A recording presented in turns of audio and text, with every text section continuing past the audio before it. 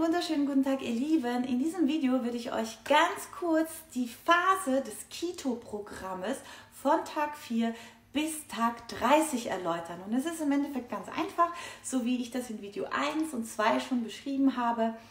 Deine Ernährung wird jetzt zukünftig natürlich sehr gemüselastig. Wir wollen ja uns gesund ernähren.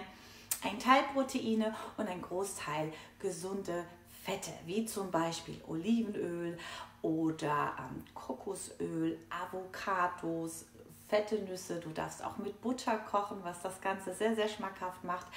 Und äh, in Tag 1 bis 3 war es ganz wichtig, dein Körper mal so eine wie eine Entgiftung, ja, einfach mal komplett ähm, alles runter reduzieren. Du solltest mageres Fleisch essen.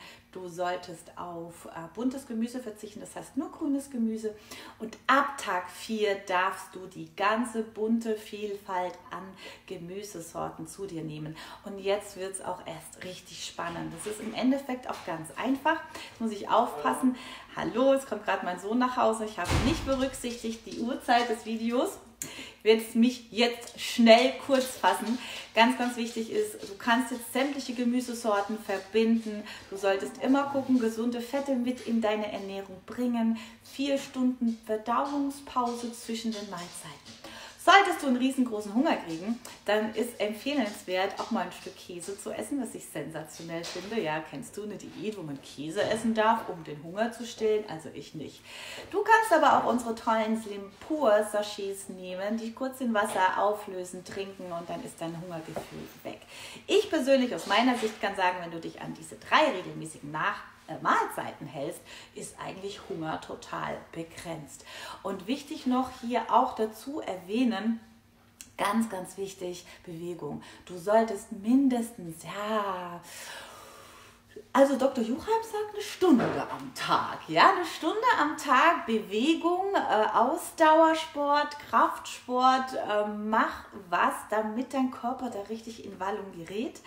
Und äh, das macht was mit dir und das ist ein Programm, das geht vier Wochen und nach diesen vier Wochen wirst du deine Ernährung so weit umgestellt haben, dass es dir sehr, sehr, sehr, sehr leicht fällt, zukünftig gesunde Nahrungsmittel zu dir nehmen und vor allem dein Gewicht zu halten, was ich immer sehr, sehr wichtig finde. Aber ich wollte euch auch jetzt noch kurz berichten, was denn passiert, wenn du zwischendurch sündigst? Das ist mir nämlich passiert am Wochenende. Wir hatten am Wochenende unsere Akademietage und da sind wir samstags und sonntags in einem großen Kino, wo wir quasi lernen. Und im Kino gibt es, was Nahrungsmittel angeht, naja, eine begrenzte Auswahl. Äh, ehrlich gesagt, für Keto war da nichts dabei. Und mir ist jetzt wieder bewusst geworden, als ich unterwegs war und natürlich vergessen habe, für mich Essen vorzubereiten, egal wo du hingehst, ob du zur Tanke gehst, ob du äh, zum Kiosk gehst oder irgendwo schnell was essen willst oder im Kino.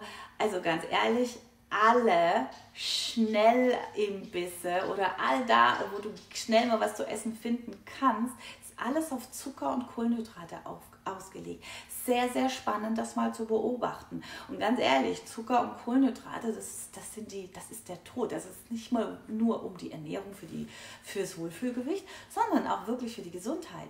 Und äh, meine Empfehlung ist, wenn du weg bist und bist angewiesen ähm, auf einen schnellen Snack, nimm dir immer eine, eine ähm, Beutel Nüsse mit zum Beispiel, ja, also unbehandelte Nüsse, natürliche Nüsse, Walnüsse, Macadamia-Nüsse, ähm, Paranüsse, auch Erdnüsse sind, sind da ganz hilfreich, aber bitte ohne Salz und alles natürlich nicht kandiert, ne, logischerweise.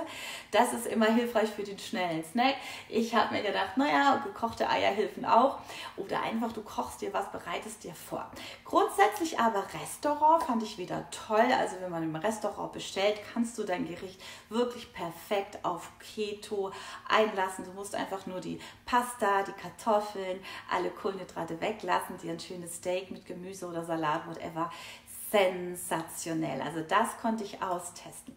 Muss jetzt aber auch sagen, zwei Sachen. Zum einen habe ich zu wenig gegessen, das hat mich in furchtbaren Hunger getrieben, sodass ich bei allen Kollegen, die irgendwas gekaut haben, kein Keto gemacht habe, Banane abgebissen, hier von einem Shake getrunken. Also ich habe tatsächlich in den drei Tagen bescheiden gegessen. Ich muss es zugeben, ich gehöre nicht zu diesen Ernährungstanten, die jetzt hier erzählen, ich bin der Profi, ich mache alles richtig. Nee, ich mache alles falsch. Und ich hatte furchtbaren Hunger. Warum? Weil ich natürlich auch mein Ketopulver nicht genommen habe, das mir hätte helfen können, um den Hunger ein bisschen äh, in den Griff zu kriegen. Von daher habe ich zwischendurch genascht. Und ich habe am Abend mit meinem Team zusammengesessen und natürlich ein Glas Prosecco wäre auch drin gewesen, aber bei wir waren es, ich muss zugeben, drei.